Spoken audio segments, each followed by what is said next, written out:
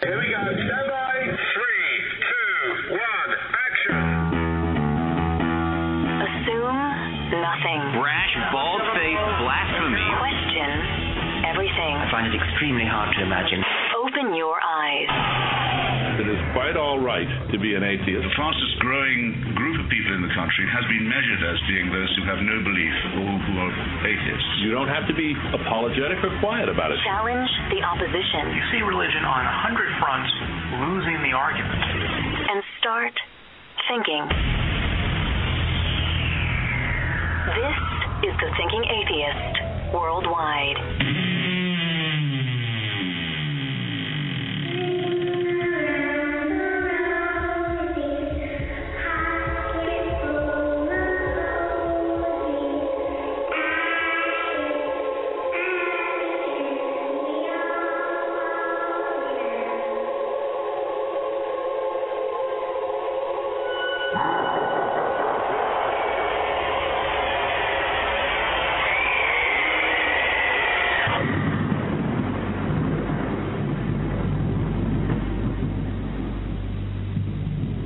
And Kathy Lutz had found their dream home. The address was 112 Ocean Avenue, located on the south shore of Long Island, New York.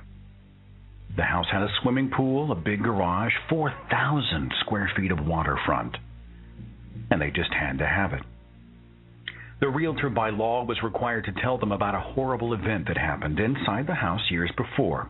True story, November 13th, 1974. A previous resident of the home, 23 year old Ronald DeFeo, fatally shot his mother, his father, his two brothers, and two sisters. The bodies were found face down in their beds, but despite the close proximity of the neighboring houses, nobody reported hearing a scream or a gunshot. Ronald DeFeo claimed the house was haunted, that ghosts had told him to kill his family. This is what realtors call psychological damage to a home. But the Lutzes were undeterred. This was their dream home. They didn't care what happened years ago. They loved this house. And so they started to move in. And on moving day, the family dog became distraught. He tried to flee the property. The dog jumped the fence, catching its leash on the fence, and almost hung itself before being rescued. Within days, the Lutzes started to witness strange occurrences. Liquid oozed from the keyholes of the doorways. The tap water turned black. Strange smells permeated the house. Doors slammed by themselves. Furniture moved. Carpets rolled back. Unexplained noises. Footsteps. And the sound of static, like television static in different rooms of the house. George Lutz began to get sick. He lost a whole lot of weight. At the suggestion of friends, the couple decided they would go from room to room throughout the house and recite the Lord's Prayer.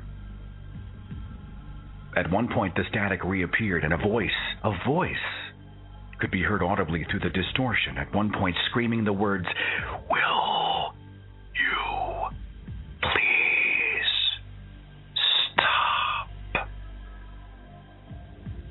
These presences became even stronger. Kathy Lutz claimed she felt a presence, a physical presence, grab her. The children saw eyes peering through their windows. They saw cloaked figures. At one point, the daughter, Missy, told her parents she'd made friends with an angel named Jody. An angel that could change shapes at will.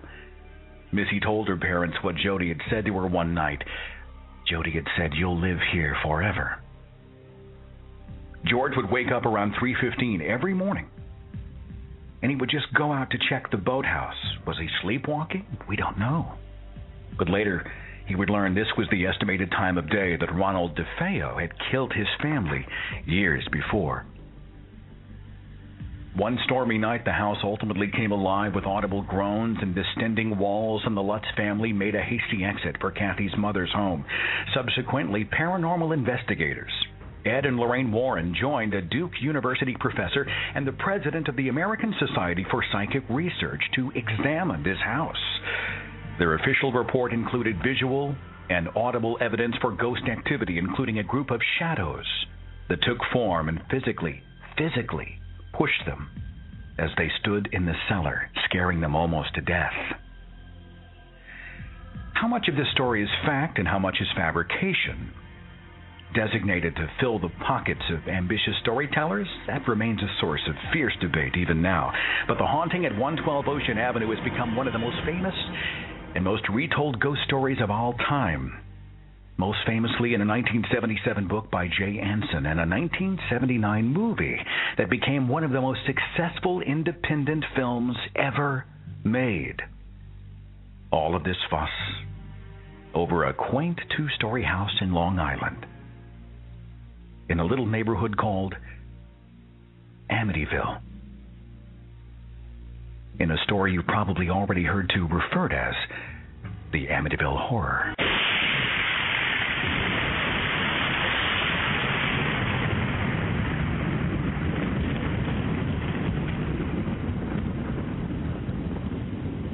As we approach the Halloween holiday, it's unusual to be a non believer in spirits and the supernatural and love stories about spirits and the supernatural as much as I do. And I know that many, many in our audience do. This time of year just sometimes can give you the creeps in the best possible way. And throughout the hour, actually about an hour and a half of the show, we're going to be taking your calls and talking about what your take is on the Halloween holiday. We've been asking people what scares you. You know, the weird phobias, you shouldn't be afraid. You're a rational, thinking, reasonable human being. You're mature. You know better. But there's something about this that scares you. We'll be talking about that. We'll be taking your calls and sharing your messages. Barbara sent a message and she said, Of course, atheists can believe in ghosts. It's one of those fascinating things about the human brain. It can hold all kinds of mutually contradictory ideas at the same time without imploding. Atheists can believe in ghosts. Homeopathy, alien abduction, etc., generally without breaking a sweat. I suspect it's a rare individual who applies skepticism to every area of his or her life. Our first caller on the show is famous from several shows ago because he was so memorable. His name is Steve, and he's in Tennessee. Steve, thanks for calling the Thinking Atheist podcast, and in advance, happy Halloween. How are you doing, hey, man? Uh, if I was doing any better, I'd be you, man. Are you uh, are you a celebrator of this evil, wicked holiday? You heathen? Uh, I, I'm not as crazy about it as as a lot of people. In fact, I I get a little scared around Halloween. I don't know what it is. Um, I think I'm afraid I'll shoot somebody if they toilet paper my yard. Come on, I, you- I, I just that just I drive around around here. It's huge where I live. I don't know how it is out there in Oklahoma, but it's huge over here. There's what is there anything that scares you? Are you spooked? Are you freaked out by? Come, there's got to be something. Uh, the prospect of uh, President Rick Perry, but uh, and I tell you what, you know, you know what really scares me about him is back and back in the day, back when I was going to the uh, end timer church, you know, and, and every day was Judgment Day, and everything on six o'clock news was straight out of the Book of Revelation. eh, eh, You know, it was okay because it was just a few of us in the woods. Now they're getting into politics. Well, And- you know, the religious have been in politics for a long, A long time. time. However, however, he you know he's part of that dominionism movement. I don't know if you're familiar with that. If you're not, get get familiar. Um, but they actually believe that they should be. Uh, they're a group of people who are trying to get into key elements of business and politics so they can help bring on the apocalypse. Now I don't know about you, but I know these people uh, of this mindset, and they they seriously believe what they tell you they believe. And I don't want anybody believing it's his job to bring on the apocalypse, having the uh, launch codes to the nuclear harbor. You know.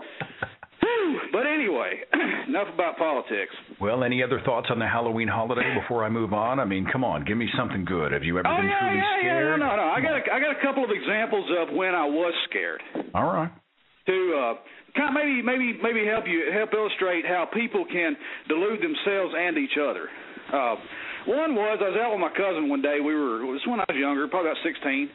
We were out hunting. Here we are, a couple of big strapping boys with loaded guns in the woods, and we come across this baby doll, this plastic baby doll laying on the ground, and it's kind of old.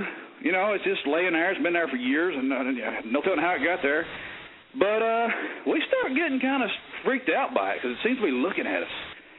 And keep in mind, we're a couple of teenage boys. We're both pretty good sized fellers, and we've got loaded guns, and we're trembling in fear, looking at a plastic baby doll. And finally, we decided to leave the area. Well, he goes back a couple of days later with his shotgun and blows this thing to a million pieces.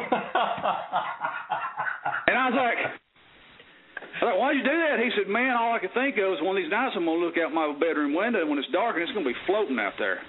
You know, but we, but another example of that uh, with a different guy. We were walking down the road one day with, uh, from my grandmother's house to my house, dirt road, woods on each side. We're walking, I spot a tree, and I'm like, look at that tree. It's kind of gnarled up, small little tree been cut off, you know. I said, look at that. It looks like sort of a goblin or something. He says, he looks at it and he goes, yeah, kind of like a dragon. And we start c- coming up with what this tree looks like, and we're kind of isolated. We're kind of in the woods there, and we're looking, and we're just building up, feeding off each other a little bit to the point where I finally say, you know, we come from a very superstitious family. Ghost stories more our bedtime stories. Okay, so we're, we're kind of freaking out a little bit. And I'm like, finally, you know what? I'm gonna prove that we're just scaring each other. I'm gonna go up there and I'm gonna take a rock and I'm gonna just demolish this this stump, this tree. So I go up there, get the biggest rock I can find, and I just deface this thing, you know. And I was like, "Wait, see, it's nothing, nothing. It's just a tree, just dried up old wood." I get down there, I said, "See, it was nothing." He looked at me and he goes, "Uh, we weren't even looking at the same tree." So yeah, I mean it's Yeah. just you know Yeah. you get you you get like a, a delusion. You get two delusional people together, and they will mirror and feed off each other. Dude, that's awesome. Well, I wish you and yours, if I may, a happy Halloween. Thanks for calling. hey man, I'm looking forward to it. Just don't nobody toilet paper in my yard. You got it, brother. We'll take it easy. All right, brother, you have All a good one. Did he say scary stories were their bedtime stories? What kind of sick parent does that to a young child? the victims were disemboweled, honey, and all they found was an iron hook. Good night. so, what scares you? I got a message from Edwin. He said, Big Bird scares him. Big Bird, ever since he was a kid, Ted said, I have a fear of being alone in a room with a young child. That's some scary stuff. Liz says, I know it's completely irrational, but sometimes I get a little freaked when I'm standing by my bed like something's going to reach out from underneath it. Adam said, You know what scares me? Public men's rooms. I'll walk in, I see another guy, and I think, He's a rapist. Must not make eye contact. Lucas said, I used to have a weird fear that I would wake up while a big tarantula was crawling out of my mouth. Ooh. It's a wonder anybody in our audience got any sleep. Area code 740, you're on the Thinking Atheist podcast. Who's this? This is Dave. Dave, what's going on? Well, um, I'm um, uh, like like most of our listeners probably. I'm a big skeptic. I'm not a person who um really believes in ghosts or uh, things like that. I'm working um uh, for charity in a haunted house. Um, this it's all October, so that's been kind of fun getting and with, with being around people who are like really into that stuff. But it's never been me. But um, um, every um, other, all of my girlfriends and women that I've ever been with have all been really deeply believers in that stuff. And my current girlfriend um, is actually keeping a blog um, about all of her experiences through her life, which I'm helping her edit. And uh, so um, I've been um, like delving into that a little bit with her. And uh, um, she's ever since she's she's mid fifties now, and ever since she was a little girl, she's always felt like there was you know something following her, something. I don't know if it's. I don't, she, I don't, she, she doesn't really know if she feels like she's it's, like it's watching over her, or if it's um, benevolent or maleficent, or if that's the right word. I'm not sure if that's a word. Probably malevolent's the word you're looking for. Did, tell, is she one of is she one of those people that she says that she has like a kind of a spiritual barometer? Like I can just walk into a room and sense things. Does she say things like that? Uh, a little bit like that. She's not. She's not so much like that. Uh, I have other. I have other um, friends that are like that. Um, uh, but uh, she's not so much like that. She's just uh, uh, somebody who uh, just constantly feels like there's somebody watching her. That is more her thing. I think she just feels like she's always being watched.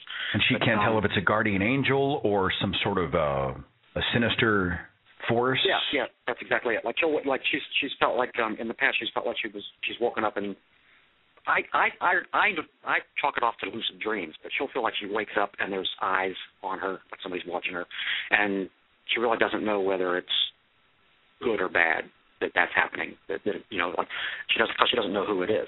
But there, she has one story that she tells in her blog, which um, I I can't explain away, where um, she gets up in the middle of the night, and um, she's she's uh, uh, early teens at this time. Uh, she gets up in the middle of the night, and she's living with her grandparents at this time. And um, she's walked. She goes down to the um, kitchen to get a something, a glass of milk or whatever it was, I forget.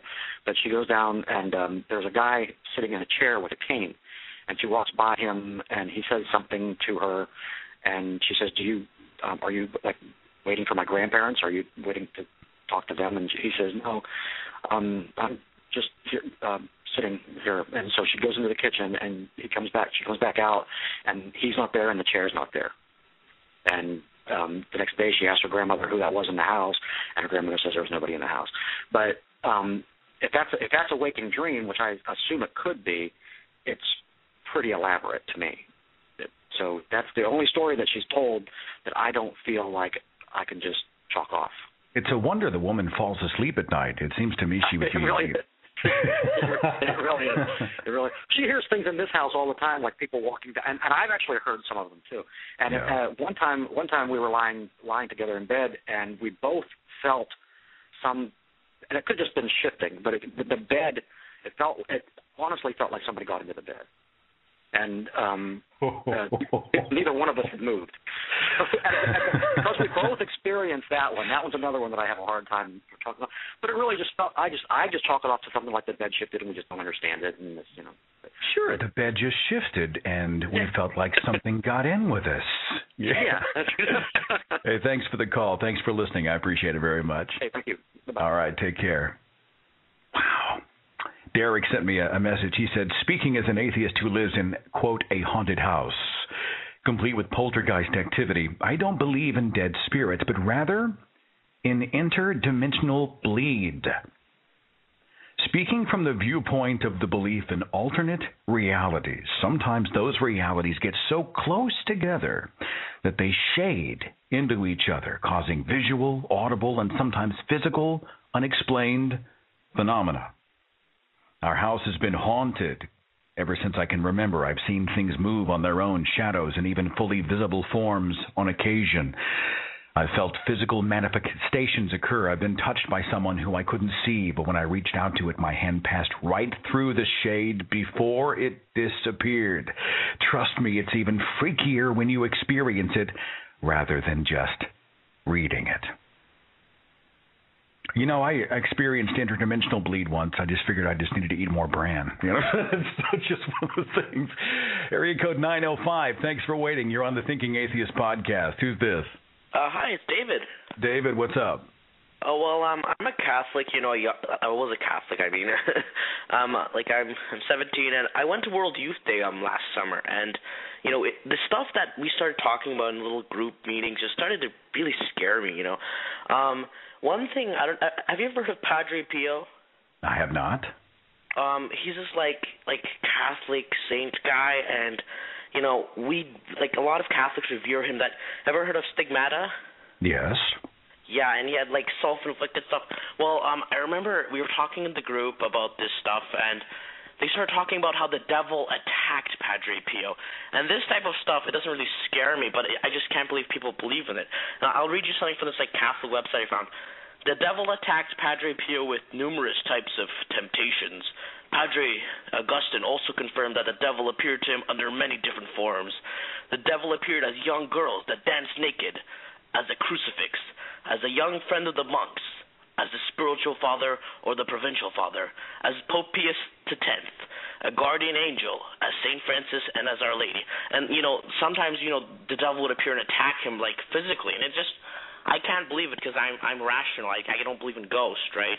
I although the, the international the interdimensional thing that the guy talked about the last time, like it was interesting, but I don't know. It just I, as a Catholic, I look at some of this stuff and it's just like as an ex-Catholic, you know, I'm an atheist, but like my yeah, well, parents. they say they say it Yeah, with a straight face. You know, he was attacked physically. Yeah, I, I Yeah, and- and it just drives me nuts that you know people believe in this stuff. You know, stigmata. Like he self-inflicted probably the wounds with acid, but you know people look at it like, oh, you know, Jesus, he was sharing his pain with this Padre Pio, and I, I just. I don't believe in the supernatural. I just find it that the the faith part of the super like the that the fact that people use the supernatural things to enhance their faith just, just drive me nuts. Oh, you know, how many times have we heard about the bleeding Virgin Mary statues? Oh, and it oh. turns out it's you know red dye number whatever. you know, it's amazing. The blood looks tremendously like food dye. Hey, thanks for the call, man. I appreciate it. Thanks for being a part of the show. Thanks for the show, man. I love it. All right, and happy Halloween in advance to you. My favorite ghost stories are the ones that are grounded in supposed reality. And here's a great example 29 Hanbury Street in London. September 8, 1888, 6 a.m. An elderly man walked down the stairs of his residence and opened the door leading to the narrow passageway outside. And what he saw in front of him shook him to his very core. Witnesses report the man bursting from the alley, his eyes wild with panic and fear. He led others to his gruesome discovery the murdered and mutilated body of a woman. Her dress was pulled up around her knees, her throat slashed, her intestines removed and laid across her shoulder. Several internal organs were missing. The adjacent building, the Truman Brewery, soon reported strange chills that drifted through the boardroom almost always at 6 a.m. A headless form reported standing by the wall of the storeroom almost on top of the very spot where the woman died. And even now, more than a century later, people travel across the world to visit the murder scene and attempt to see, hear, feel the victim communicating to them from beyond. What singles this particular story out above the hundreds of other grisly accounts what makes this particular woman and her supposed ghost so famous? She was Annie Chapman, the second victim of a real life monster whose name is even more chilling and even more famous Jack the Ripper.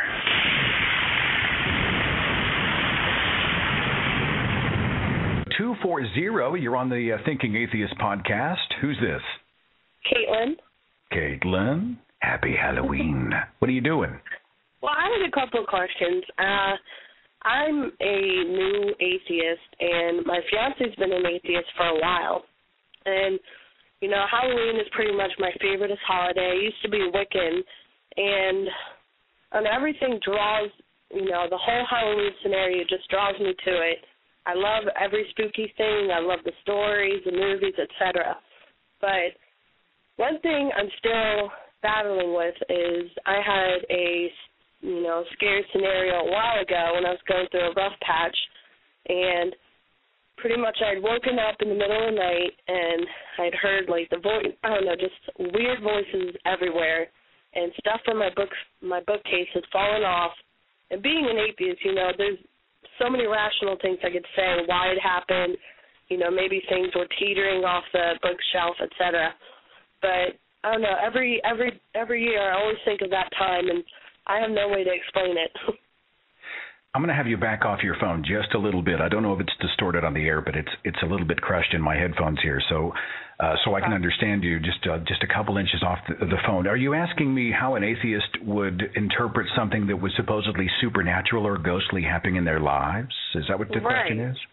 Exactly. Well, you know, I do I do I have an explanation for why people see um, figures walking down hallways and why they hear sounds and why they experience phenomenons and temperature changes. I think in this wildly complex world, uh, I think people are extremely susceptible to the power of suggestion. Have you noticed most of the encounters take place at night? You know, I mean, right. your vision's not as good. You're you're maybe you're not as alert. Who knows what your environment is like? Sometimes those things can be triggered by just certain. Um, they have what they call the God helmet, which actually Mm-hmm. stimulates portions of the brains with electromagnetic fields, and people hallucinate and they see all kinds of things. They are convinced they are absolutely real. So, I, I'm not being in the room, not being able to see. Do I think it's real? I, my experience has been that the power of the mind and the power of suggestion is is there's probably something chemical happening. there's Yeah. probably a physical explanation. I myself, I need hard evidence to prove.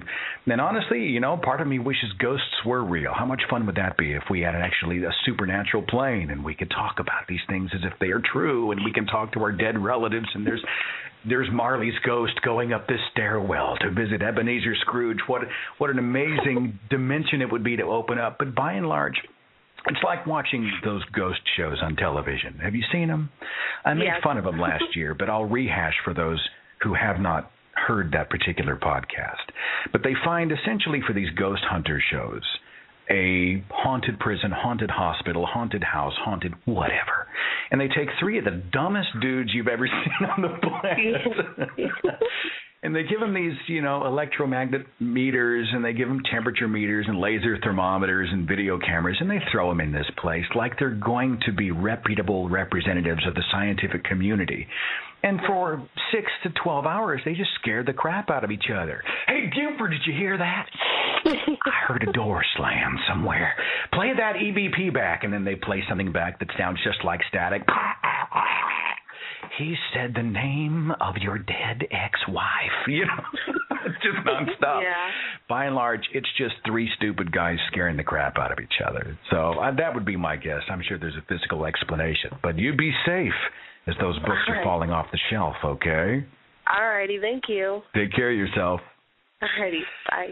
I, uh, growing up, was forbidden to participate in the darker aspects of the Halloween holiday. We were a devoutly Christian family, so we could dress up as, you know, you could even be Dracula or the Wolf Man or something, but no witches, no demons, nothing like that, because obviously we didn't want to give Satan his due on this Halloween holiday. In fact, part of me feels like that my family allowed the children to participate only grudgingly in the Halloween holiday, you know. And then you see those churches, they it's all Bible characters. Well, he's going to be coming as Moses tonight for the Halloween thing.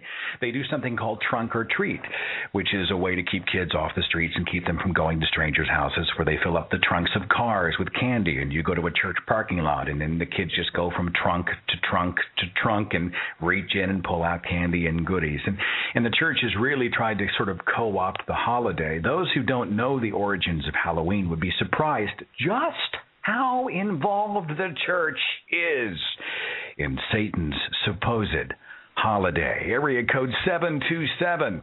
I'm so glad you waited. You're on the Thinking Atheist podcast. Who's Hey. this? This is Eric. Eric, what's up? You were just brought up point I was brought, brought about the church being involved. I want to go go more in depth in it. Please do. We talked about Samhain and all that stuff with the with the Celts and everything, the Druids. Uh, I'm going to get into that, but uh, basically, uh, of course, the church holiday that they, they that they decided to start was called All Hallows Eve. If you look in church history, you know the Catholic Encyclopedia, it says it's All Hallows Eve on October 31st, and of course they they decided to co-opt that day like they did with Christmas. They they, they understood people were still celebrating Samhain, uh, so they decided, well, we- gonna, we got to have a holiday, and we'll, we'll do All Hallows Eve, and we'll involve a bunch of dead people. Sure, while the Celts are trying to light bonfires and wear costumes to ward off the the ghosts and the spirits, Pope Gregory, right? He designates November 1st as that time to honor all the saints and the martyrs, right? All Yes. Saints Day. And the evening before was All Hallows Eve, now known as Correct. Halloween. The church is hugely involved in the Halloween holiday, folks. Yes. And most Yeah, people I- have no idea. They just think it's Satan's Yeah. day, right? And, and uh, it's, uh, there are other holidays. Uh, Easter was originally a, a, um, a pagan fertility goddess. Do you know that? Yeah. Yeah. And and of course we all know the the pagan uh, origins of Christmas. So it's just the church has just gone, gone and co-opted all these holidays to get people's minds off of their original beliefs. Yeah. Well, and and I think they're banking on the fact that most people won't do the homework and find out what history really says about these holidays. I mean, these are the same people who believe that Jesus was actually born December 25th. Oh, what a great day! He was born on December 25th. Yeah. You know? Yeah. Yeah, but right. uh, could you imagine shepherds uh, herding sheep in December in Israel? Um, I'm pretty sure it's cold in Israel at that time of year. I don't think they're outside herding sheep, right? Yeah. You know, I thought about doing a whole other show before the 31st that, that was dedicated only to the haunted history of Halloween, what it is, how it began. We'll talk about the Celts and the Druids, and and and you know where trick or treat came from. We I actually did a, a, a feature on this. Believe it or not, when I was in Christian radio in the 90s, we were Yeah. talking about the origins of Halloween, and we were speaking actually about how, hello, folks, a lot of the stuff came from the church. And I Yeah. thought about doing that. If, if time permits, I'll see if I can get something on the calendar before the 31st. And uh, getting to my Christian, or uh, when I was a Christian, I actually went to a church that decided, hey, guess what? Martin Luther was born on this day, so we'll celebrate Martin Luther Day. I'm not kidding. Well, where I I, come from, it's, it's not. Many places don't even call it Halloween; they call it a harvest festival or a Yeah. fall festival. Essentially, what they're trying to do is create a happy, uh, kind of an airbrushed version of a holiday, which honestly is a whole lot less fun. And then they go out and and do their thing, and, and most of the kids are desperately wishing they could dress up as something with a mask and a chainsaw and go door to door, and all the parents go, "Oh my God, look at the killer!" so, Yeah. you look so deadly, honey. Come here and look. Take, bring your camera. Eric, thanks for the call. Very much appreciated. Yeah. Yeah. On my uh, Facebook page, I've been asking, what scares you? Evelyn said, the sound of wind and palm trees on a windy day totally creeps me out. Kate said, sleepwalkers. Oh, totally get that. You ever talk to somebody who was sleepwalking, actually spoke to you? That's happened to me. Freaked me out. Their eyes are open, they're looking at you, they're talking, they're asleep. Deborah said, I freak out if a road is too close to a lake. I just think my car's going to crash into that lake and I'll be trapped. Vicky said, You know what scares me? Those singing Santas. About five feet tall and they move in their arms and they sing Christmas carols. Totally freaks her out. Shayna said, Escalators and Christopher Walken. Christopher Walken is awesome. Area code 937 on this ghostly podcast. Thanks for calling. What's your name? It's Brian. Brian, thanks for being a part of the show. What's your take on all of this? Anything spook you or scare you? You have a scary story or an opinion about the holiday? Well, I don't really have a story. Uh, you were talking earlier about the origins of Halloween, Mm-hmm. and uh, I was wondering if you're aware. Uh, lately, when I read the debate online, I find a lot of Christians are trying to argue that uh, Halloween was originally a Christian holiday, and that the pagans stole it from them, and now with the Harvest Festival and everything, they're just trying to claim it back. I was wondering if you knew anything about that. No, or- look, it, it was a response to previous Druid holidays, and and and but but it wasn't that the church created it and then it was stolen by Satan. I noticed that a lot. It's more of that Christian revisionist history sort of going on. Uh, I just started to see it. I was wondering if you knew anything about that because I'm well aware. I used to be pagan and Wiccan and all that fun stuff, so I'm well aware of the origin, the original meaning of the holidays.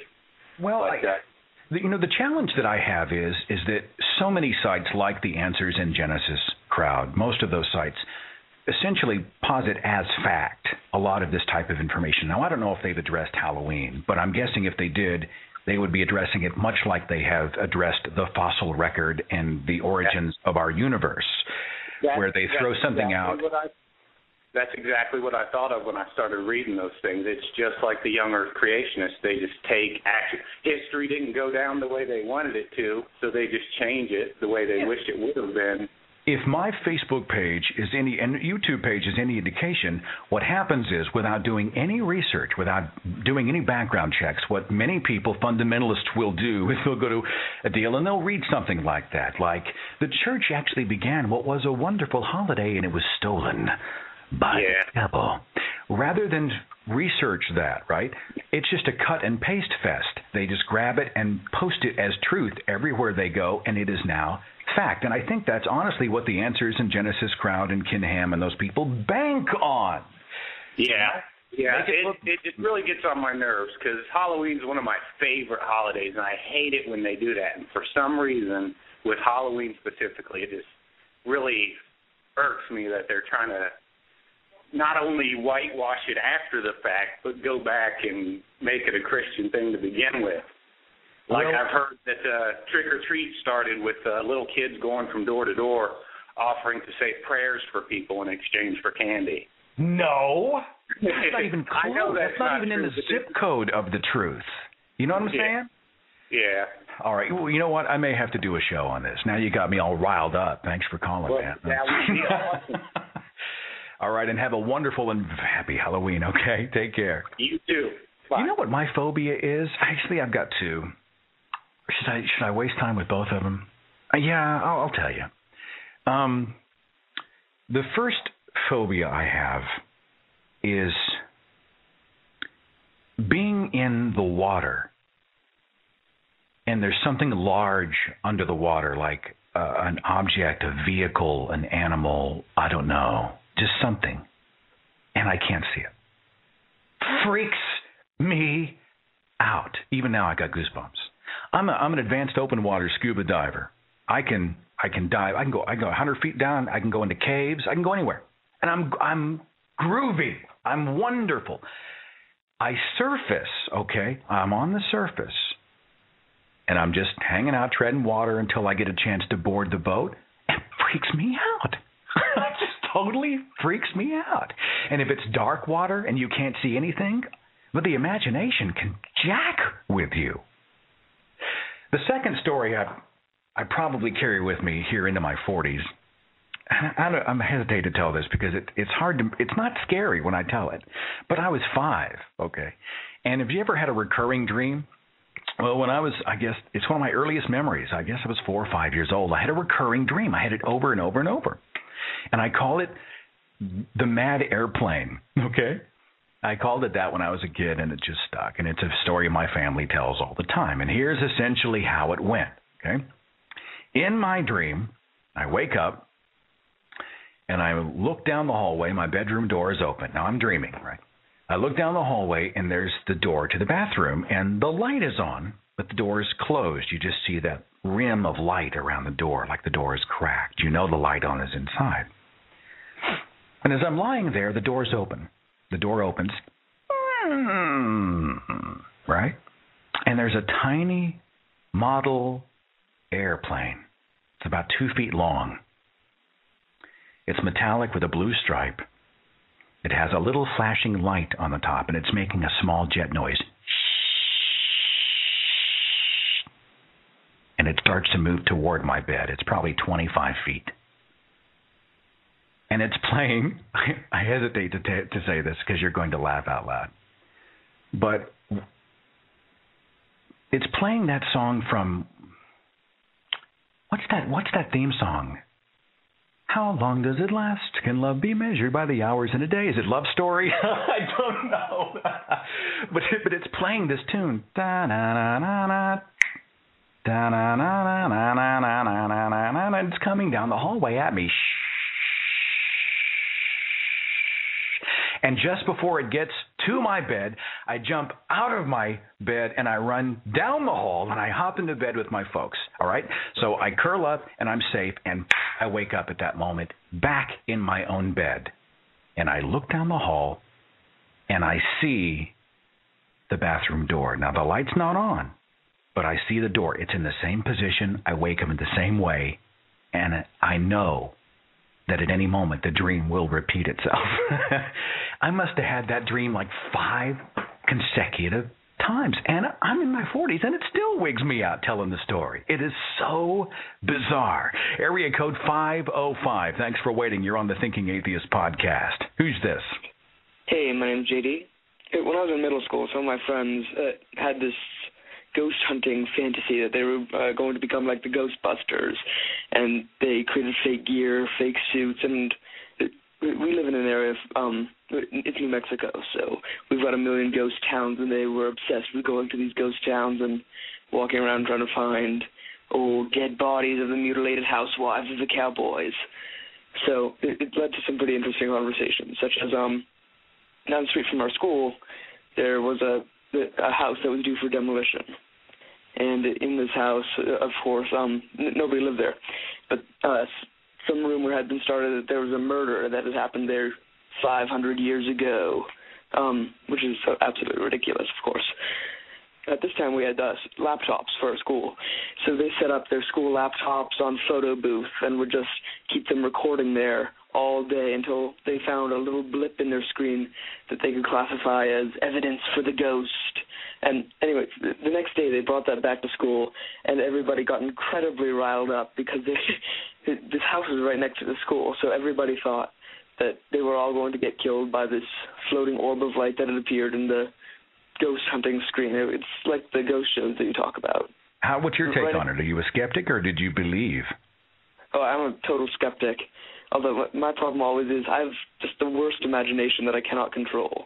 So although I although I believe that it's absolute crap, that I I can just lay in bed all night and keep shaking of things that my brain invents.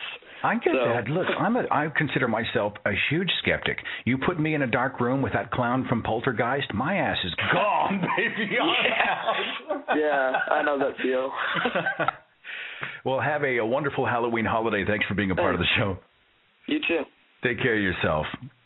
There was an interesting story that I had read uh, a couple of weeks ago. There may be some outside of these borders, and unfortunately some within who may not know about the American Civil War. It began in 1861, and it continued for five long, bloody years. Now, Abraham Lincoln had been elected President of the United States on a platform of abolishing slavery. Now, upon his election, 11 southern states declared their secession from the U.S. They formed the Confederate States of America. The nation divided on the issue of slavery, Union against Confederacy, anti slave versus pro slave, fighting over the rights of states and federal rights and commerce and land and taxes and tariffs and whether slavery was immoral and barbaric or an honored tradition and just good business. The nation split. The divide ultimately exploded into all out war. By the time the Confederacy surrendered to the Union April 9, 1865, an estimated 625,000 soldiers from both sides lay dead. The first shots of the Civil War were fired at a harbor in Charleston, South Carolina. Citizens of Charleston may have already heard this story about a woman. She was a laundry worker. She washed clothes, moved to Charleston um, shortly after the war ended. Now, every night at midnight, she would find herself awakened by the sound of heavy wheels on the street. Every night at midnight, but she lived on a dead end road, very little traffic, certainly none at the midnight hour. And her husband said, Oh, honey, come on, you're just hearing things. You're dreaming things. It's just your imagination. Close your eyes, go back to sleep. And yet, every night at midnight, the heavy wheels would roll past without any explanation. Finally, the woman mentioned this to another woman washing clothes at a tub next to hers, and the other lady said, Oh, oh, what you're hearing is the army of the dead. The story goes that Confederate soldiers died in a nearby hospital after April 9th, 1865, after the surrender, after the war was over. But no one ever told these dying men the war was ended. And so every night at the stroke of 12, the soldiers rise from their graves and march to Virginia to reinforce General Robert E. Lee in his battle against the North. So the next night, the young lady slipped out of bed and waited. She waited by the window. And at the midnight hour, a dense gray fog appeared, and within the fog, the shapes of horses and the sounds of gruff human voices, the rumble of rolling cannons, and the sound of marching feet. Soldiers, horsemen, ambulances, wagons, weapons, draped in vapor and gray as ash, trotting forward to a ghostly battleground long since abandoned. And as the final soldiers disappeared in the mist, the woman emerged from her daze to realize that all of a sudden she was unable to move her right arm. She was partially paralyzed, as if the fog of death had brushed against that limb so close to the window and rendered it useless forever. And for the rest of her life, she clumsily but dutifully scrubbed the day's laundry with the arm that remained, knowing that she had given the other to the army of the dead.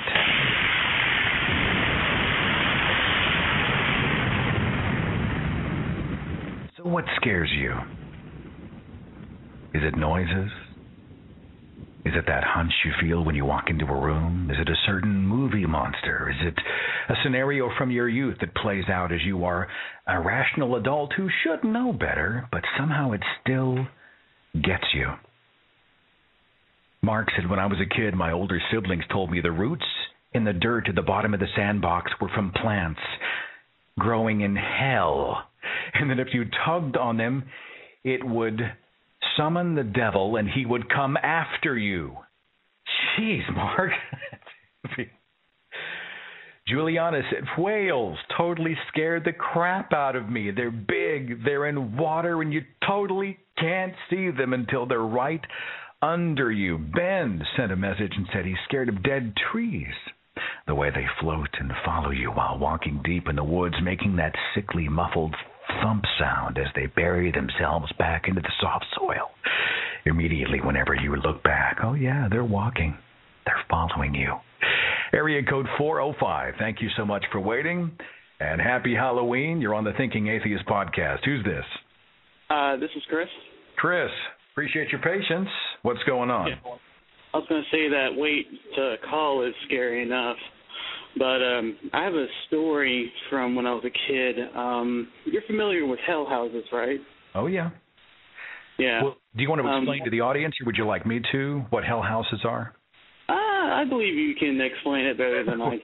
All right. Well, let me make sure I'm on your page. What churches often do in their co-opting of Halloween for their purposes is they are turning the haunting haunted house into an evangelical opportunity, a way to scare people into receiving Christ.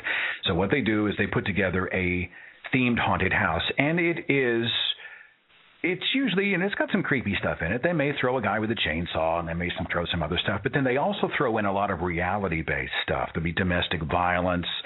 There will be somebody who commits suicide. I remember one where they showed a lady who blows her brains out and there's blood all over the wall and they they talk about uh, substance abuse and gang activity and essentially they're tying in real world horrors into this haunted house experience. But as you get closer and closer to the end, it gets darker and darker and darker and more real then they say that this is what the world is like without God.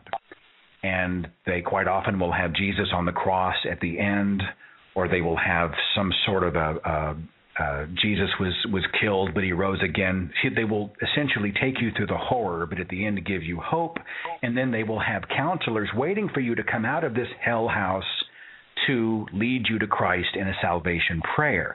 They use it as a way to get young people scared of not being saved. Did I get that pretty much accurate? Yeah, that's pretty okay. much it. All right. Well, um, let's go from there. What do you got for me? Yeah, when I was a little kid, I would say I was maybe like nine or eight. I was really young, and uh my mom and dad recently they separated and they got back together, and it was just Halloween. My dad decided to take me and my sister to a hell house. Two of them that night. The first one, it was um it was pretty tame by modern standards, but when um when I went through it, I was terrified. The first one, it showed a couple, a loving couple, who engaged in premarital sex. And they were coming home from a dance when they got into a car crash. The thing that I remember most is they actually got, I believe at the time, Channel, uh, Fox Channel here. They actually got the news anchors to make a fake news story, so it's even more realistic. And they show them being tortured in hell, um, really graphic torture. And at the end, you see a bright, bright light, and there's a uh, a teenager, like a tw- a uh, 13 year old teenager, dressed up like Jesus, and uh, they take you away and then you pray. Well, you had to pray to get candy, so I did like a half-ass pray and I got like a Snickers. Wait, wait, wait. Wait, wait, wait a minute. They made the children pray to Yeah, get pray. treats? Um, they uh, they made us pray to Jesus, and as a reward for us praying to Jesus, we were able to get candy. Now, my blood is already boiling thinking about Yeah. this. The second one, you'll probably get really mad. Um, the second one, this one was notorious because the last couple hell houses, they had to close them down because of the graphic nature of it. This one was even more graphic than the um, the car crash. The car crash actually showed photos of real car crashes and calls and stuff. This one, it shows another couple who engage in premarital sex. Um, the woman decides to get an abortion. So they showed the graphic portrayal of a woman being aborted, her strapped to the to the uh, the little chair thing. Whoa, whoa, whoa. Wait a minute. Wait a minute. You got kids going through and they're reenacting like a back alley abortion thing? Yeah. Yeah. Like the, are they they're doing the clothes hanger, or was there a doctor, or what are we talking There about was a here? doctor. There was Huh. a doctor, and they were like ripping out like fake guts and stuff. It was it was really nasty. And after that, they showed uh the boyfriend. Apparently, the woman apparently died from the um from the procedure, and it showed him blowing his brains out. I, I did a haunted house um, back when I was a believer. It was a Christian themed thing. It was real hardcore. It was the same deal. I mean, they show the guy committing suicide, and they show the girl who's addicted to drugs, and she's weeping, and there's syringes all in her arm. I mean, you know, they're put, they're trying to be as dark and as heavy as they can, under the guise that, man, this is real, man. This is this is what Satan's doing to our young people, and they need rescue. And then, of course, the very last thing, once they've completely freaked these kids out, is they had Jesus Christ and his back was turned to you, but he was obviously on the cross. And then the cross turned 180 degrees, and you see him, and he's covered in blood. He's all gashed up, and he's got spikes coming out of his hands, and he's heaving, trying to breathe his final breaths, and then, you know, he's done. And you hear the thunder, and then they bring you out and say, you know what you've seen is real. Don't let satan send you to hell. Please come with us. And and then they would present this plan of salvation you know? And and looking back i think to myself what what abuse is this? What uh how cheap is that? You know? Uh the more i think about it the more but i've never seen anything like an abortion going on. Yeah, yeah. They uh, they stopped doing it after that year because a lot of uh, a lot of people got offended because they were showing abortion. It, apparently, in Oklahoma, it's okay to show someone dying in a car crash, suicide, drug overdose, but showing an abortion that's just a little too uh, graphic and and not fun for the kids. Yeah.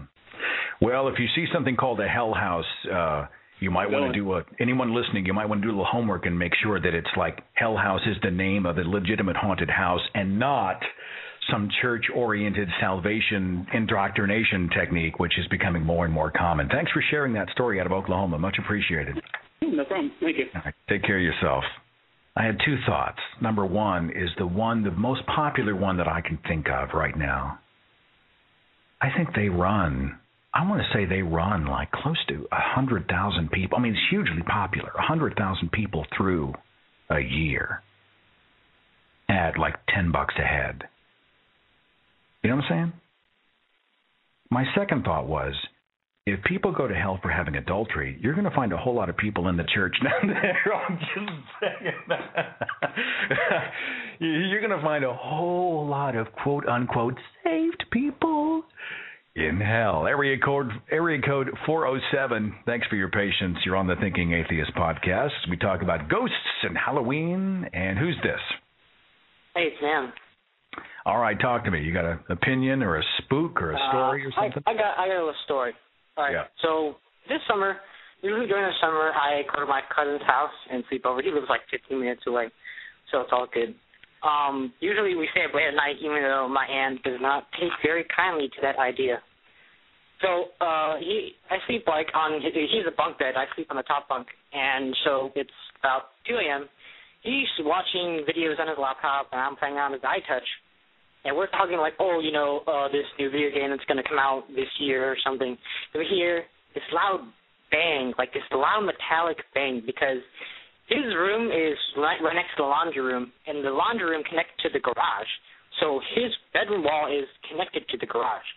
So we hear this loud bang coming from the garage. It sounds like somebody um punched a metal door, like the garage door, really, really hard, and just this this this incredible like loud bang. We we freeze, and we we were freaked out, and my and my cousin he's just like, oh my god, what was that?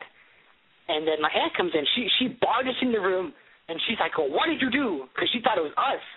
And we're, and he he's like, no no no no, we didn't do anything. Don't be accusing us when we're just sitting here.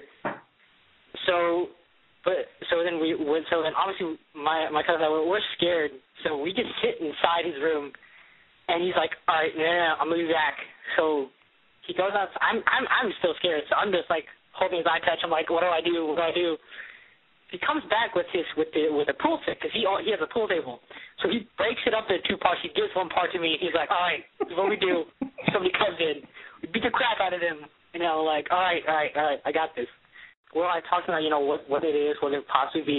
Do we hear somebody knocking on the front door? It's like really loud knocking, and then we start really freaking out because we're like, you know, who is knocking on the freaking door at 2 a.m. in the morning? It's just really, really loud knocking, and then I was gonna find out it's my aunt because she she apparently like locked herself out of the garage or something like that, and she had to get in the garage. It's a good thing you guys had the pool cues. Forget the priest. You come after me with a pool cue, and I'm a ghost. My ass is out there. yeah. Thank you so right. much for the call. I appreciate All it. right. Yeah. Thank you too. Uh, Michelle sent a message. She said, "You know what scares me?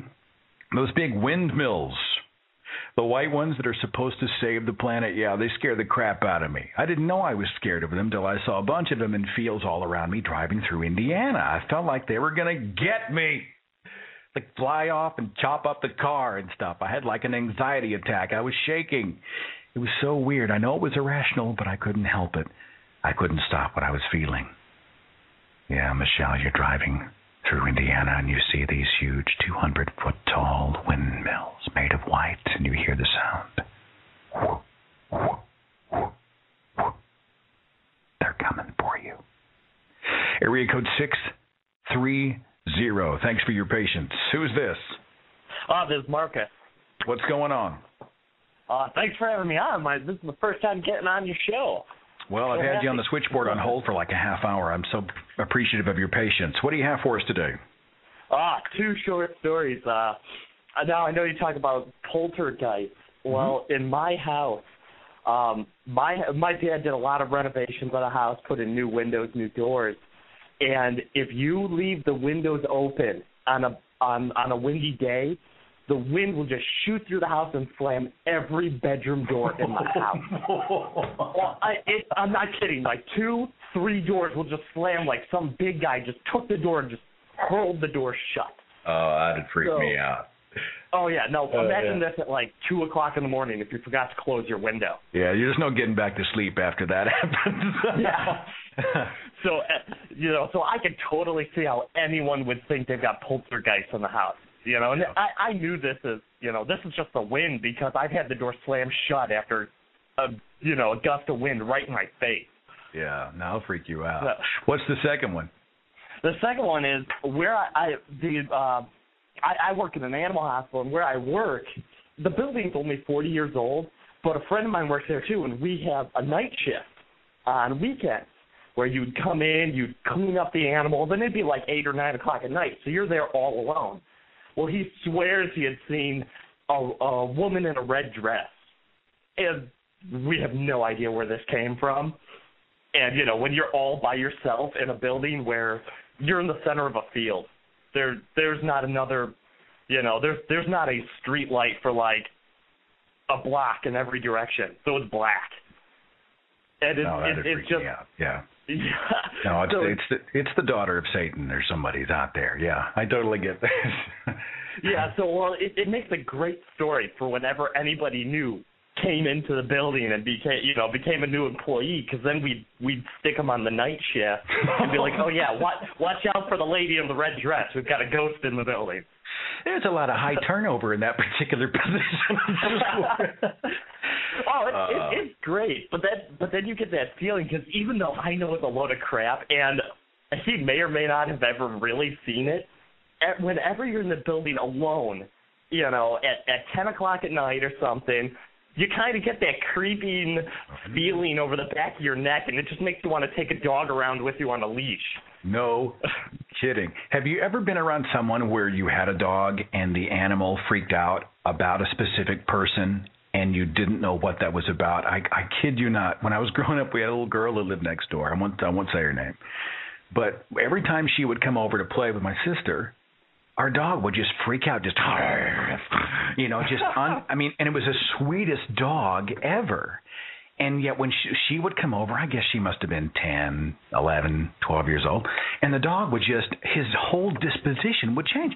And I'm thinking is there like they say, you know, they always used to say animals can detect a spiritual presence, like the presence of evil. So Yeah. so is this Damien's daughter? I mean, is there something spiritual happening in this child that we need to exercise with the demons? Was was the girl scared of the dog? No, I mean she was, and you know, I she was a sweet kid, and but there was there was something a little kind of weird about her. But, but to see the dog just totally freak out, I always think. Uh, I always think about the film, you know, where the where there's a ghost in the house, and the dog is always the one who knows what's going on before any of the human beings do. Yeah, well, happy that- Halloween, and thanks for calling the show. Much appreciated. Yeah, I love the show, and I've I've downloaded every podcast you've made. Thank you so much. Thank you for that. And I, I honestly I appreciate every listener we can get and, and I hope they're as much fun to listen to as they are for me to do. I just really, really love these shows. Thanks again. Thanks a lot. I remember when I was a kid, um when uh I would be the only guy home and my sisters and mom would be asleep, I had to I was the one who locked up. Right? I was the night owl. I stayed up late. So I would go to the front and the back door to lock up and it was a routine, you know. You'd you'd you'd flip the lock and then you just tug on the door to make sure that the door was shut. And uh, I had uh, I had a dream that freaked me out, and to this day, and it was exactly like it happened in real life. I'm dreaming, but this is exactly how it happened when it was 11, 11:30 at night, and I would go and lock the house up. And so I walk to the front door and lock it, and I tug on the door, boom, boom, boom, and it's nice and tight. And I walk around to the back door, and I hit the lock and I pull on it. And instead of going boom, boom, boom, being totally locked, the door went and opened. I mean, suddenly. And there was a dark figure, about six feet tall. I couldn't discern any features on the face, nothing. Just a dark, obviously male figure, six feet tall, right there. And I'd wake up. Bam! Just like that. Freaked me out. And as a consequence of that, in real life, when I would go when I would go lock the, the doors, I kept thinking about that dude. I'd go to the back door. you know, I'm like kind of cracking the curtains and looking out, you know. I think it's because I was fascinated with with scary movies even as a child, and I probably just jacked my own psyche up.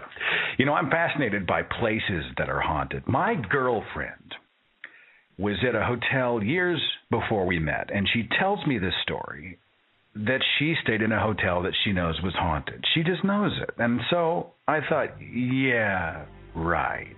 And I did some homework on this particular hotel, and it turns out it's got a story. The St. Anthony Hotel in San Antonio, Texas, built in 1909, it continues to serve visitors today.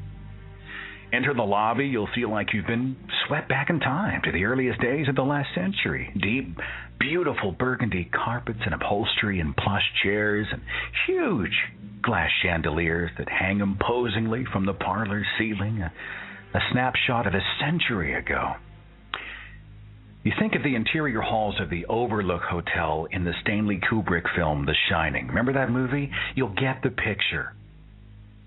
These days, the St. Anthony Hotel remains a popular travel destination, the site of many conventions. A lot of activities take place there. It's played host to many famous people. George Clooney, Arnold Schwarzenegger, Princess Grace of Monaco once stayed there. It is also reportedly haunted. Hotel patrons have reported seeing ghostly figures of people dressed in the most extravagant attire gracing the Anacacho ballroom. Other sightings include a woman in red and a tall gentleman with a top hat entering the hotel elevators. Hotel guests say that the elevator bell dings throughout the night, with no occupant entering or leaving the elevator. Nobody there. Employees call this the work of the phantom bellman. It's a running thing. They just talk about him all the time. Children's voices can supposedly be heard from the rooftop garden, and footsteps echo down empty halls. The 10th floor, supposedly the most haunted floor of the hotel, and room 1080, the most haunted room. Employees say that this room stays terribly cold, even in the sultry San Antonio summers, and even when the air conditioning is turned off. There are strange noises. One account says there was a cleaning woman who was scrubbing the bathtub, and she saw her own name scribbled into the porcelain like someone would scribble a name onto a misty mirror. She reportedly grabbed a supervisor who watched her scrub the name away time and time again, only to see her name reappear. The cleaning lady turned in her resignation and never worked there again. Add to this the real story of a real life murder. 1965, a guy named Walter Emmerich reportedly checked into the adjacent Gunter Hotel, room 636, and in that room murdered a blonde woman who had accompanied him that evening. A hotel maid opened the door and she saw Walter Emmerich standing next to a blood stained bed, the walls, the floor, ceiling splattered in crimson red. And as the maid screamed in terror, Emmerich fled. He fled next door to the St. Anthony Hotel and attempted to get the very same room number. He asked for 636. It was occupied, so he selected the floor below it, room 536. And as the police tracked him down and surrounded his room, he shot himself dead. The murdered blonde woman at the Gunter Hotel, her body was never found. This is true. Never found. No woman matching her description was ever reported missing. No match from fingerprints found in the room. None. Some speculate whoever she was, Walter Emmerich chopped her murdered body into small, tiny pieces and flushed it, one by one, down the toilet. When guests at the St. Anthony have reported hearing toilets flushing in rooms that are unoccupied, and sightings of a ghostly blonde woman in white near the hotel office. It's speculated it might be Walter Emmerich's anonymous victim, haunting the very hotel where her killer shot himself in the temple with a 22 caliber pistol. So if you are ever near 300 East Travis Street in San Antonio, Texas, you might visit the St. Anthony Hotel. Keep your eyes and ears open, folks, especially near the 10th floor and and if you hear the elevators without the sound of footsteps or voices, it might not be your imagination. It might just be the phantom bellman.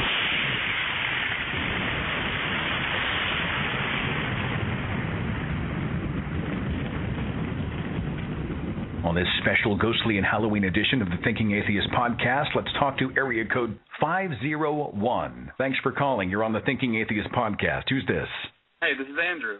Andrew, what do you have for us on this Halloween podcast? Um, I have a story of uh, the dumbest thing I've ever seen scare someone. Okay.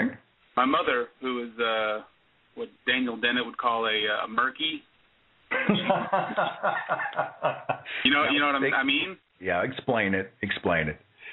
Um, she's a uh, she's not a believer, but she still uh, takes to all sorts of superstitions yeah. for no real reason.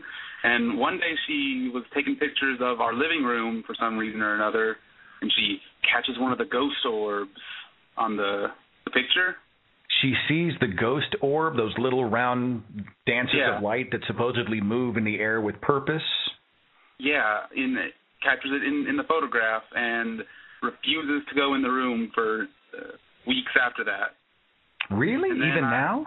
Even even now? No, no, no, no. She eventually got over it, but uh funny thing is I uh, decided to show her that she had no reason to be afraid and I took her camera and took the exact same picture four different times at the exact same time of day to prove to her that it was, you know, just a refraction of light.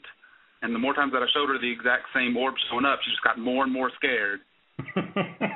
she thought that was proof that they were after her. Look, I'm a professional videographer, and it's amazing how people do not know how light and lenses work, and you know those particles of dust or whatever. I mean, they have no idea how how you know sunlight reflects, and and it, it's amazing. But I think people really are just they just want to believe. They want to Yeah. believe. You know, they walk that's through exactly what it was. I'm sure. a room is 20 degrees colder, it's not because it's ventilated differently or because it's not insulated or there's another explanation or there's a concrete floor or it's in the basement or whatever. It's because there must be an entity causing the temperatures to go down. Thanks for the call and thanks for your patience on the switchboard. Um, yeah, I, I just wanted to say uh, you recently agreed to speak at my uh, university. I wanted to really thank you for that. Uh, which university? Because I've had a couple of requests come in. Is University it, uh, of Arkansas. Yeah, yeah. uh, We were gonna we were gonna do that in what 2012. Yeah. I would love the opportunity to go to Arkansas and hang out with you guys. If it uh, if it all comes together, let's make it happen. Okay. Uh, thank you very much. Very kind. In fact, after the Free OK event, I've had uh, opportunities come up for 2012. I believe we're going to be in Canada in late spring of next year, um, Missouri, and I think they're working on the Texas Free Thought Convention for 2012. You know, that's going on, I believe, as we speak. Dawkins and and everybody is down there. Uh, I had a um, a message from Tammy. She said, "I have a fear I recognize as completely irrational, and yet as someone who prides herself on being self-analytical, rational, and hell-bent on being in control of myself and my feelings at all times, I can't move past it. I'm terrified." Of driving over bridges. Now, bridges on their own don't scare me. Walking over bridges doesn't scare me, but driving over one, well, that's a completely different story. Tammy says, little bridge, big bridge, doesn't matter. I'm the 34 year old mother who has to physically get out of the vehicle and walk across the bridge and have my husband pick me up on the other side. And if I'm the driver, I will alter my course to avoid having to drive over one. Probably some childhood stuff involved with that. Uh, let's see, I've got on Skype uh, Metal Sonic is the name on my switchboard. Who is this? Hello there, can you hear me? I can hear you. What do you have for us on this Halloween podcast? Ah, fantastic. Well, first of all, uh, my name is Phil, and this is my first time calling in, so I'm glad I managed to sort out Skype to get in. Uh, thank you. yes. And uh, the main thing I want to talk about is that uh, even though I'm quite a strong, you know, uh, skeptic of ghosts and paranormal activity, I, I still, like you, I still find it a very fascinating thing overall. And um, when it comes to skepticism, I feel that people tend to have, a lot of people tend to have this false dichotomy that it's either, um, you know, ghosts, ghost is absolutely must be ghosts or it doesn't exist. And studying psychology, um, just the high school level at the moment, but it's given me a lot of information and a lot of alternative answers that I find, you know, more fascinating than if it was like the paranormal. Because, like, um, you know, people are, you know, very fallible human beings, especially where when it's like at night time, it's a very dark environment, it's a very spooky environment, especially if they've been suggested that, um, you know, there's going to be ghosts there to begin with, you know? You know, if there's been, you know, suggested, they'll expect something to happen, and so there's a random noise uh, anywhere, maybe something falls over, and, you know, they'll take it. Um, it's, it's all part of the pareidolia effect. I think many of us are familiar when we hear stories like, you know, the, the face of Jesus on a piece of toast and all that, you know? Are we Yeah. talking about uh, the power of suggestion? Are we talking about brain chemistry? Are we talking about exterior triggers that make us think and feel and and perceive these things? Where does it come from? Uh, It's a little bit of both because basically it's a, survi- uh, a survival mechanism. Like if you're just like an, uh, an ancient hominid, like in the uh, grassy savannah or something, and you're right at night and you see this large long object on the on the ground, you may jump away and act like it's a snake. And doing that, even if it's not a snake, will be better for your give you a better chance of survival because avoiding something that isn't there will train you to avoid something when it really is there. And so we see these patterns, and we also recognize human faces and things, and uh, attribute them to them. Have you ever had anything in your life that just totally spooked or scared you? Come on, there's got to be an irrational fear somewhere. Uh, well, the fact that the Creation Museum existed as well. I must say. uh, yeah, being in the UK, I, I must say that uh, I it just scratch my head at how such a thing can rake in so much money each year, and people actually believe this. I mean, I mean, they they still pick, uh, depict dinosaurs with cavemen. I'm like, well, wait, people, this is real. This is this is not some kind of dystopian comic book theme park or something, you know? It's just the I think it's got to be the the ultimate scam. I mean, they can't believe this stuff. I've been thinking about getting a camera and going in. I have to go through the legalities of how how I do it logistically, but I've been thinking about literally taking a camera and going to the Creation Museum and doing something on it. But uh, I'm not sure I can do it without crawling over the the velvet rope and saying, "What the flip are you people smoking back there?" yeah, I I know what you mean, and it all seems, it all seems to fit in like uh, when people are basing their you know judgments uh, off of emotions, and just there's a lot of post hoc rationalization going on. Yeah. And it all fits in with a, a, thing in psychology called reconstructive memory. This is where you'll remember certain details of an event. However, you will also, uh, you will also when you remember it, you may repeat it uh, with something more familiar. And so when it comes to uh, ghosts and paranormal, or even um, you know, looking at, you know, evidence with the God glasses, um, you say, they'll, you know, take these pieces of little tidbits of evidence and uh, all that, and especially when they're, they're very scared state of mind, they they will, you know, reach for something that's immediately identified, like it's a ghost or it was God or something of that nature. Well, do me a favor. Don't judge all of America on the Creation Museum, please. oh no, I, Trust I me. certainly, I certainly won't. You are living proof that I that is a really bad thing to do. Yeah. Well, I appreciate the call. Thank you so much for uh, for Okay. a great call from overseas, and thanks for your patience on the switchboard. Have a wonderful Halloween. Thank you. You too. Before I go though, is it all right if I plug my YouTube channel? Please do. It's uh, Nightmare 060. That's Nightmares in uh, Bad Dream and 060 numbers on the end. Wonderful. Thanks for the call very much. Okay, thank you for having me and hope have a happy Halloween yourself. You bet. You bet. For the record, the Creation Museum is the ultimate hell house. you know what I'm saying? How is this place on the map? How are they receiving dollars? How are they not being laughed out of the, the neighborhoods in which they exist? It just boggles the mind.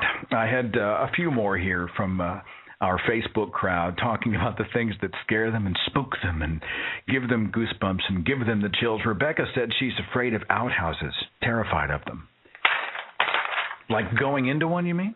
Or just being around one? I mean, like going in, you know, you lock the door and you have the little latch and you're in there and there's no light. And that would be, yeah, that's kind of creepy.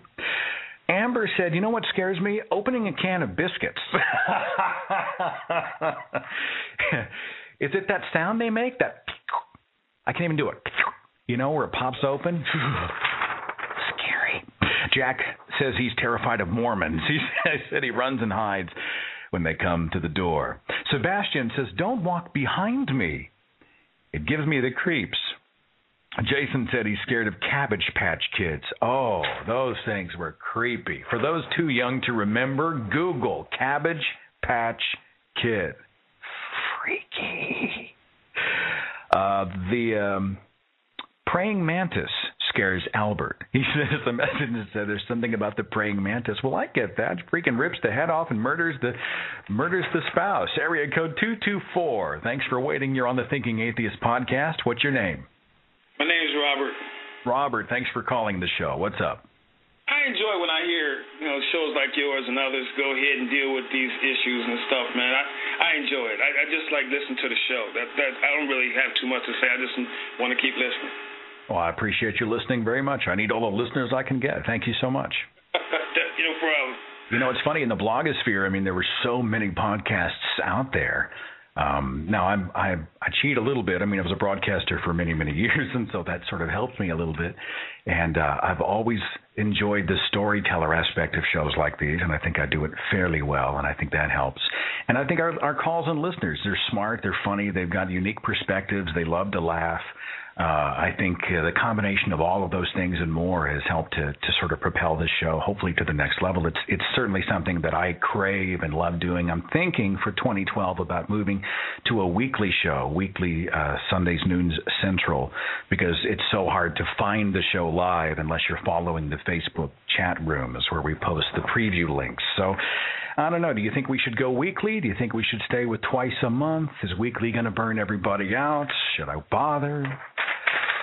My final story is one that resonates with a lot of people because I think it reflects a um, a real fear that many people have, and they certainly had it years ago. It's a real life horror story, as reported in the New York Times on January the 18th, 1886.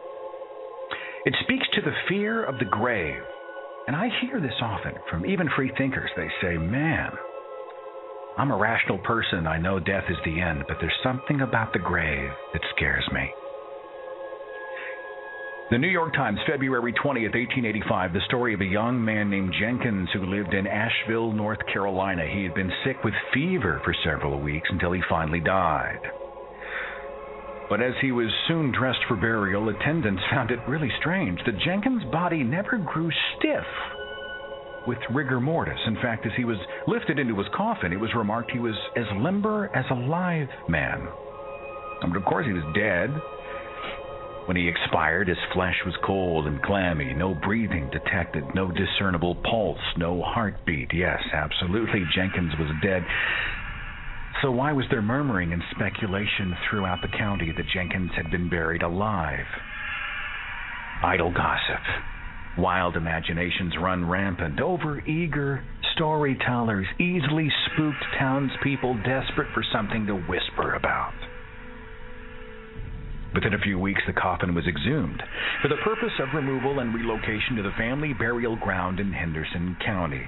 The coffin was made of wood, and the plan was to transfer the body to a more secure metal casket for the 20 mile journey. And it was suggested they pry open the wooden casket to see the condition of the body, to see if a metal casket was even necessary. When they peeled back the coffin lid, their faces retracted in horror. Jenkins' body was lying on its back the day of the burial, face up, but now was face down.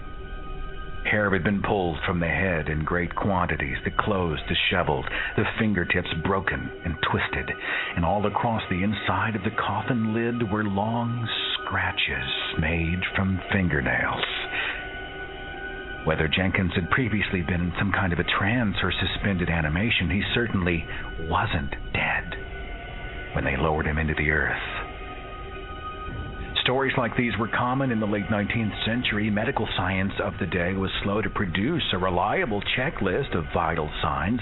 Many doctors were just too poorly educated or incompetent to tell a living body from a dead one. For this reason, an organization was formed called the Society for the Prevention of People Being Buried Alive. Proponents traveled far and wide to promote the slow process of burial. Hey, take your time make sure just in case. So strong was the fear of being buried alive, some people with the means and resources actually stipulated in their wills that their coffins be outfitted with some kind of a signal, some mechanism or bell or device that would bring others to their rescue to keep them from suffering the same fate as poor Jenkins. The man who awoke inside a submerged coffin six feet under the ground and spent his last breaths screaming and clawing in the darkness, crying out to the land of the living, yet condemned to suffocate to death in the garden of the dead.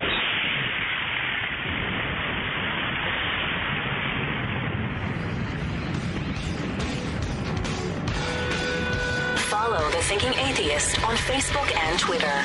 Watch dozens of original videos on the Thinking Atheist YouTube channel. And visit our website for resources, links, contact information, the editor's blog, and more. TheThinkingAtheist.com.